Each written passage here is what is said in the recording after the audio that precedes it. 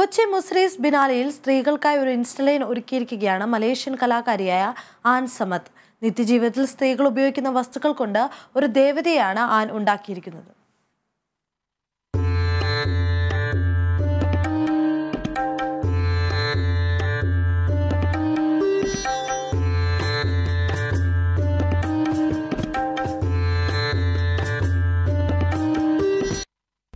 Hairpin മുതൽ അടിച്ചുവാരുന്ന ചൂൽ വരെ ഈ കലാസൃഷ്ടിയിൽ ഇടം പിടിച്ചിട്ടുണ്ട്.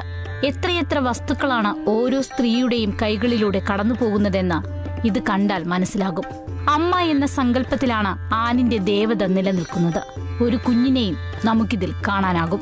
ചുവന്ന നിറത്തിന് പ്രാധാന്യം നൽകുന്ന ഈ കലാസൃഷ്ടി കേരളത്തിലെ ദേവീക്ഷേത്രങ്ങളോടും കാവുകളിലെ കലാരൂപങ്ങളോടും ഏറെ അടുത്തു നിൽക്കുന്നതാണ്.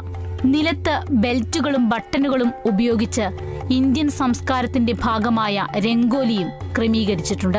സമ്പത്തിന്റെയും നല്ല ഭാവിയുടെയും പ്രതീക്ഷയാണ് രംഗോലി. ആൻ തന്റെ ചെറുപ്പകാലത്ത് ഉപയോഗിച്ചിരുന്ന കളിത്തോക്കുകളും ഈ കലാസൃഷ്ടിയുടെ ഭാഗമാണ്. ധൈര്യത്തിന്റെയും തന്റേടത്തിന്റെയും ദേവതയെയാണ് ആൻ ഒരുക്കിയിരിക്കുന്നത്. ഇത് ഓരോ സ്ത്രീകൾക്കുമുള്ള സമർപ്പണമാണ്. മാത്രമല്ല കോവിഡിന്റെ ആദ്യ വേവിൽ ജീവൻ നഷ്ടമായവരുടെ പേരുകളും ഇവിടെ മാലകളിൽ കൊരുത്തുവെച്ചിട്ടുണ്ട്. Cameraman Ashwanth പിണറായിക്കൊപ്പം A T Ashwathi Kerala vision news.